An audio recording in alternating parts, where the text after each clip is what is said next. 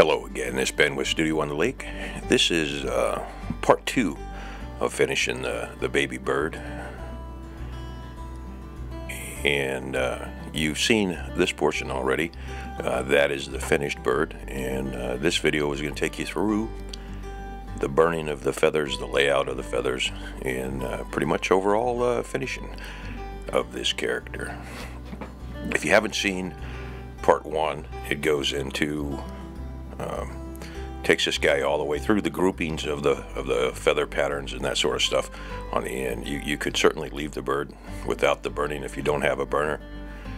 Um, or you could uh, texture this with a um, a burr or a stone. And in future videos, I'll, I'll show you a little bit of that because some of the decoys have that going into them. So that's pretty much where we left him last time. And we had uh, roughed out the feather groupings. But now we're, we're up to the point where I've got my uh, trusty uh, ruby sapphire, ruby or sapphire, I forget. I probably ruby is what it is, a flame burr, and I'm just going to go around.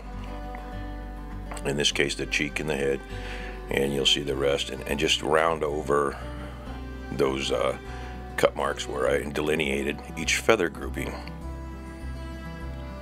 This is a made-up bird. Um, he looks a, lot like a sparrow. You could probably turn him into a chickadee if you really wanted to badly with the painting or with the burning in, in this case since this guy's going to get no paint. So I'm taking the V out of the middle of his back. That's where his wings kind of stand a little bit proud of the rest of the body. You can see that the uh, left wing there is uh, overlapping the right wing. I'm not trying to take this down uh, perfectly. I'm just sticking within the silhouette and the outlines of the shape and just kind of smoothing it a little bit uh, in, in, preparation for laying out or for cutting the feathers in. You, I, I want the feathers to, to uh, have little bumps and ridges in them and not be completely smooth and plastic looking.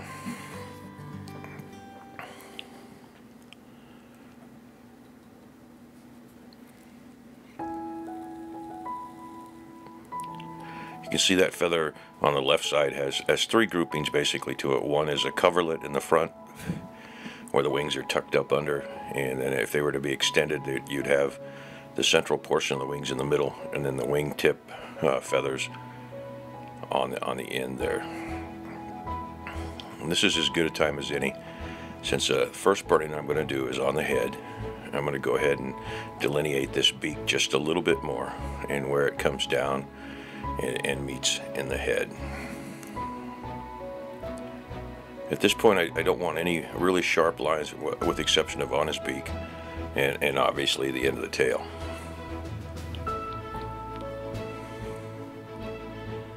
The concept of this guy is you, you, hold him in your hand, set him on your hand, and show him to someone, and um, he reads as a soft, fluffy, uh, not quite a baby bird, because if you've ever looked at uh, really young baby birds when their feathers are just starting to come in, they're, they're not a pretty sight particularly.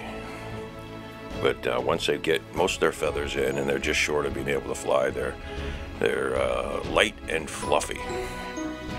If you've ever tried to, to carve a baby duck, a realistic baby duck chick, or a chicken, uh, uh or duck chick, you'll find that's really difficult to do because their their feathers aren't necessarily feathers. They're little uh, fluffy down, and that is the hardest thing to get to to read and, and best done with paint as opposed to trying to delineate. But once they start to have a little definition in the feathers, then you can uh, come back and uh, this technique will work very well.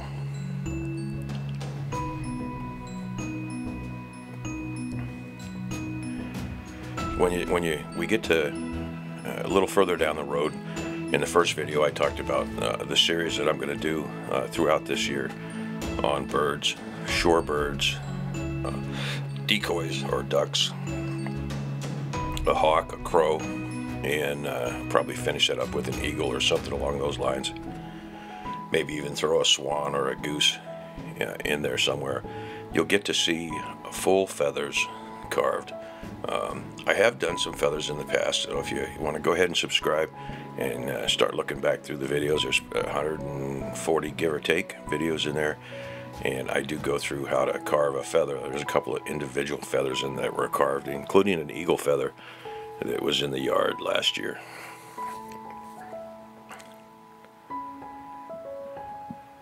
So there's the tip of the wings and the little V that I'm delineating down there is the one that's underneath.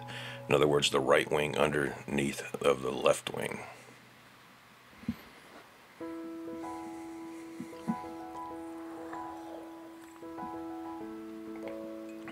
I left a lot of this in without uh, real heavy editing, although this is probably two, two and a half hours, uh, boiled down to about 30 minutes.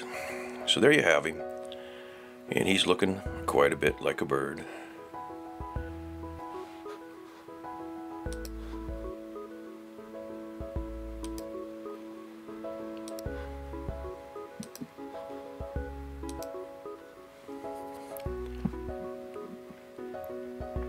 And once again, if you if you run him in a silhouette, you can see what you're doing. So now I'm going to go back and, and and uh, I'm just doing this portion outlining the major feather groups for the, the purpose of the teaching on this. And, and then in a second here you're going to see me come back and put in flow lines flow lines being the direction that I want these uh, small feathers to go. So there's the delineating the major groups once again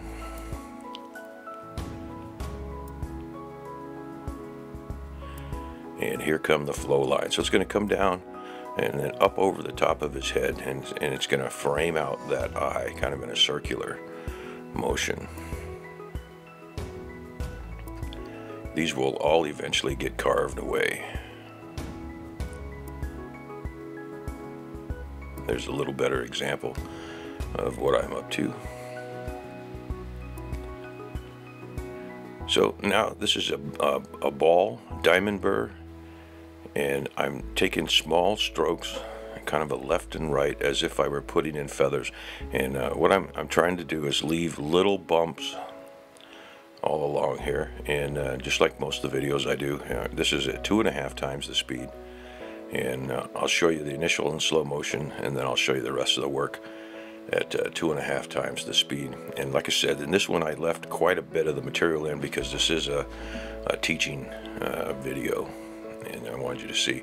But what this does is leaves little ridges, and when I come back over with the burning pin, uh, those ridges kind of remain and further uh, help the feather effect. Now I could do this with a stone that has a little bit of a sharp edge on it, a ceramic stone, and, and actually paint over it because you see uh, the little short strokes that I'm taking on this uh, actually would be uh, read as feathers if I were to paint it. And you see the directions that I'm kind of running on across the cheek there. And you can actually see the little little ridges that I'm, I'm leaving on that guy.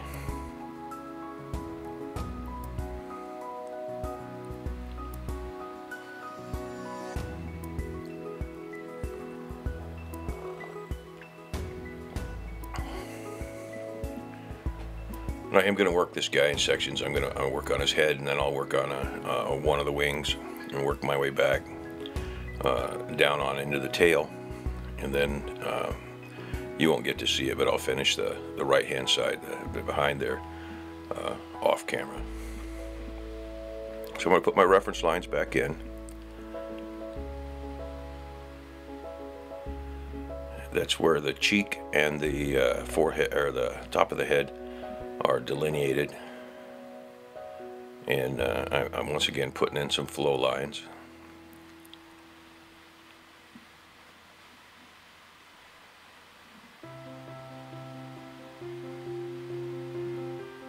This will be the first point when I pick up the burner where I really start to delineate the beak down. I, I haven't done the carving on the beak, even though it, it's, it reads pretty well as it sits. But uh, once I get these feathers that where they come down and delineate the edge of the beak, then I can come back at, at, at a little later in the video and show you uh, how I finish off the beak.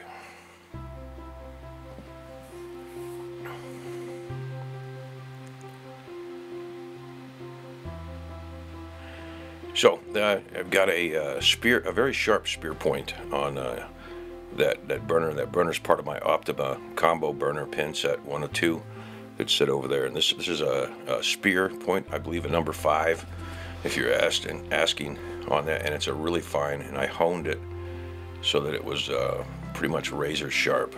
And I'm running it on about six, between five and six.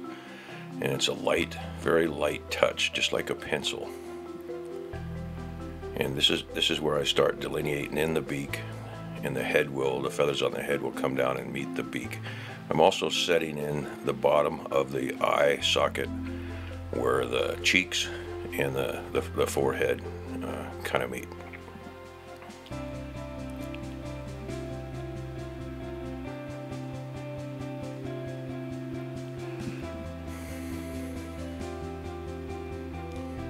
And here we go, time to go to work. So I'll start in the center.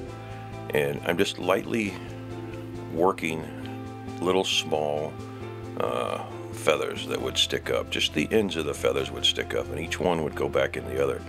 Uh, if we were to magnify this quite a bit, they would they would look a lot like fish scales. Scales and feathers, whether on a scales on a dragon or a fish, and feathers on a bird, uh, have a tendency to stay the or be built the same way. One lays over top of the other in a tiled effect.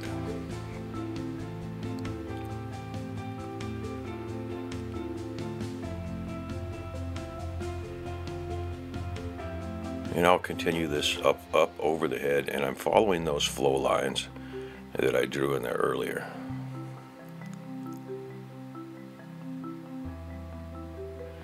As it comes across the top of the head and moves down towards the back, you'll notice that these feathers uh, start to getting a little bit larger.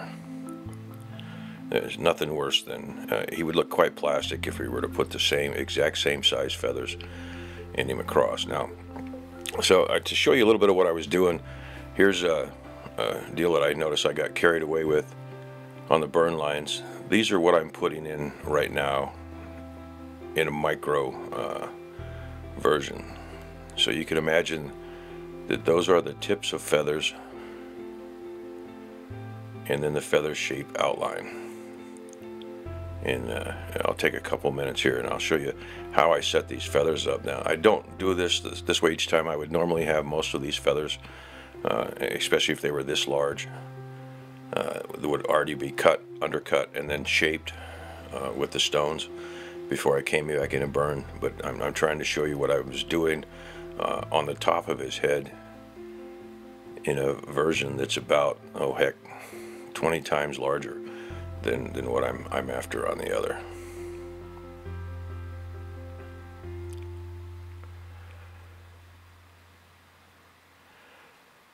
Those would be the barbs in the center of the feathers.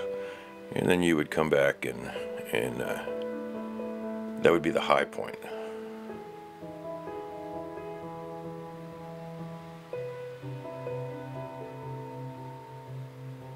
and this is uh, real time and not speeded up. I'll, I'll, try to mention when I speed up, although I think you'll probably be able to figure that out.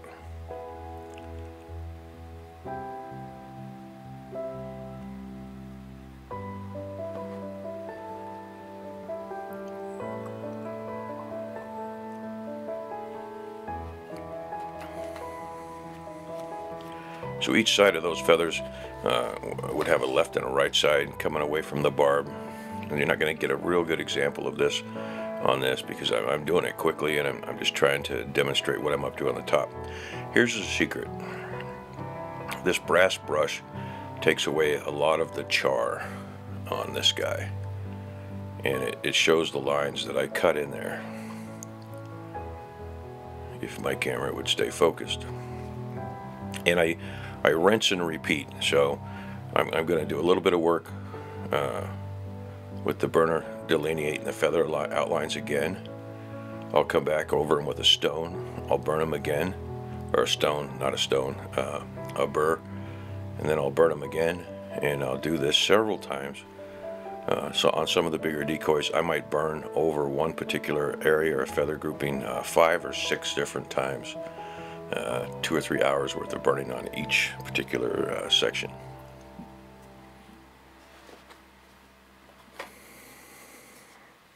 And once I've gone over it one time, I, I go ahead and take that brass brush and take it out. Now you see I've got a burr in there. And now I'm doing what I would normally, on a bigger feather like this, this would have been the first step as opposed to the other step. But I, I thought I'd go ahead and finish this out for you since I'm, I'm doing this in, in micro on the top of his head.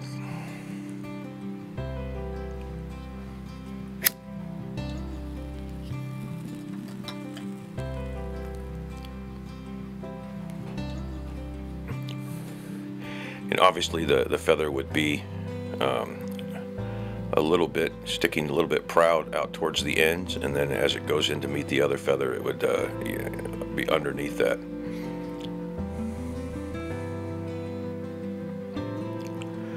Coming back, and, and I'm actually kind of undercutting each of the edge ends of those feathers. And you can see the, the nice thing about not doing these uh, to a perfect pattern they're not supposed to be snake scales that are that are perfect, uh, graduated going down, uh, or that sort of thing. Each one has a little bit of a characteristic to it.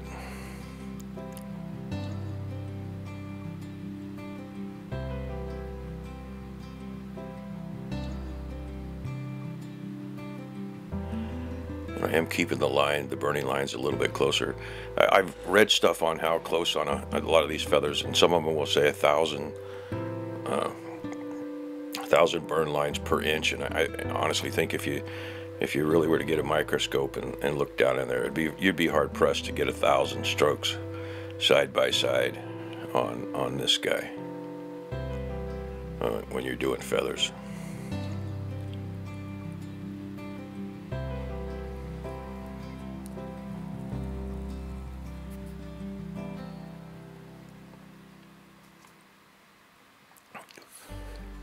You'll see me do this several times on the bird. I'll come back with the uh, um, with the, the brass brush and, and, take stuff off.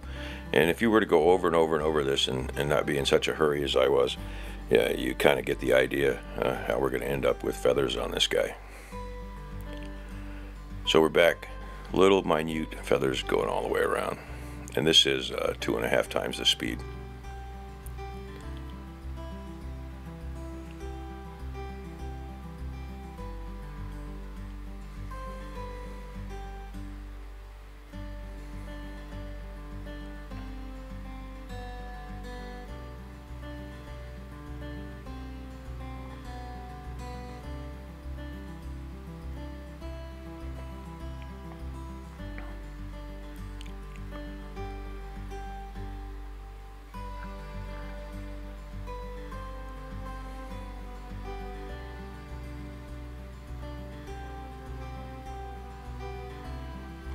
I am working my way from the, the front of this guy uh, to the back.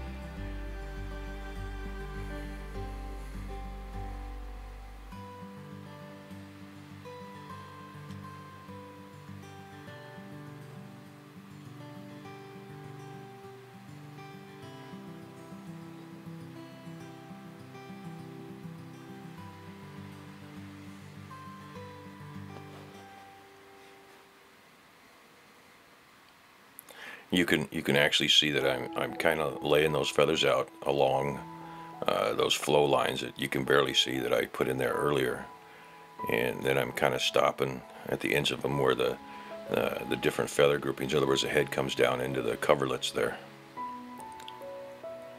All right, and then uh, here we go. Here's the what it looks like before the brush, and this takes off a lot of it, and you can actually see what you've got. Um, you can't completely erase the the burn marks, but you can you can get a lot of them to come down, and I, will go over this another one or two times uh, throughout the video. So there's that, and I'll uh, I'm going to quit jabbering and, and uh, let let the rest of this run seven or eight minutes, and, and then I'll come back in again at the end of this and uh, uh, pick up with the voiceover.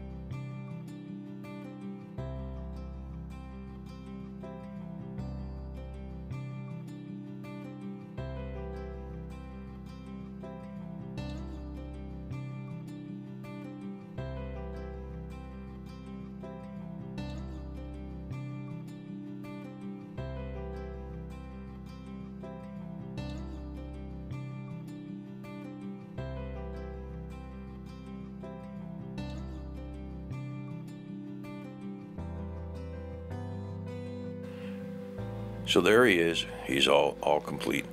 And what you saw me do in the middle there, if you're looking, I, I burnished his his uh, uh, beak a little bit there on the carving. The rest of it should be self-explanatory. And the goal is to make him look like a real bird from a little bit of a distance away, and you set him in your hand.